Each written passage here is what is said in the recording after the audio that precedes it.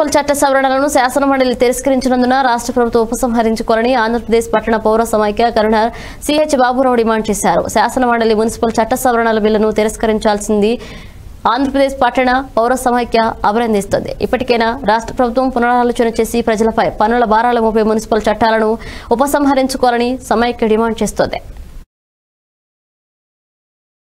ఉద్యోగులు కార్మికులు ఐక్య కార్యాచరణ పిలుపు మేరకు రాష్ట్ర వ్యాప్తంగా కలెక్టర్ కార్యాలయాలు మున్సిపల్ కార్యాలయం దగ్గర ధర్నాలు నిర్వహించడం జరుగుతూ ఉంది.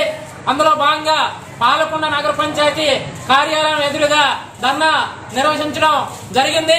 ఎప్పటికైనా రాష్ట్ర ప్రభుత్వం మున్సిపల్ కార్మికుల సమస్యలు తక్షణమే పరిష్కారం చేయాలని చెప్పి డిమాండ్ చేస్తున్నాం. ఆరోగ్య వృత్తి ఎలవెన్స్లో ఐదు నెలల నుంచి మున్సిపల్ కార్మికులకు బకాయిలు ఉన్నాయి. వెంటనే చెల్లించాలా? హెల్త్ కార్డులు మంజూరు చేయాలని చెప్పి ఎన్నికల ముందే హామీ ఇచ్చిన విధంగా సమాన పనికి సమాన వేతనం అవుట్ సోర్సింగ్ కాంట్రాక్ట్ ఉద్యోగులు రెగ్యులర్ చేయాలి.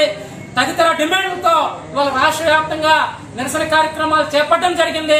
రాష్ట్ర ప్రభుత్వం ఎప్పటికైనా స్పందించి మున్సిపల్ కార్మికులకు ఇచ్చిన హామీలు వెంటనే అమలు చేయాలని చెప్పి డిమాండ్ చేస్తున్నాం. లేకుంటే రాష్ట్ర వ్యాప్తంగా మున్సిపల్ కార్మికులు ఆందోళనకు సిద్ధంగా ఉన్నారని తెలియజేయడానికి వాళ్ళ రాష్ట్ర వ్యాప్తంగా నిరసన కార్యక్రమాలు చెప్పడం ప్రారంభించడం జరిగింది. ఇది మొదటి దశ మాత్రమే.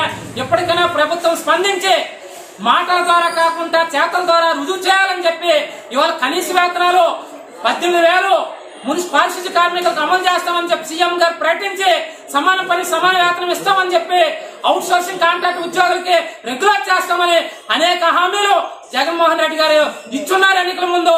ఈ రోజు పారిశుద్ధ్య కార్మికులకి కరోనా కష్టకాలంలో శ్రమ పడ్డారు.